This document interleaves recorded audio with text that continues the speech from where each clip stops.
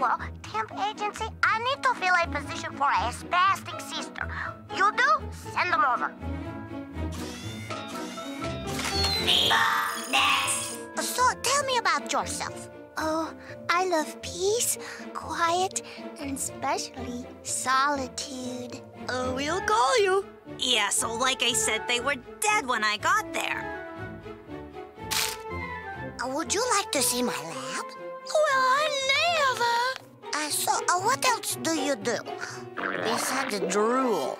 Spastic sister, that's what they said. Spastic sister, and that's me. So here I am. What a spastic sister. Who do you call? None other than me. Get it? None other? oh, well, it's been fun, fun, fun, but I gotta go, go, go. So bye, bye, bye. Hallelujah. No, sorry. Good luck, though. I don't think it'll work out. When can you start?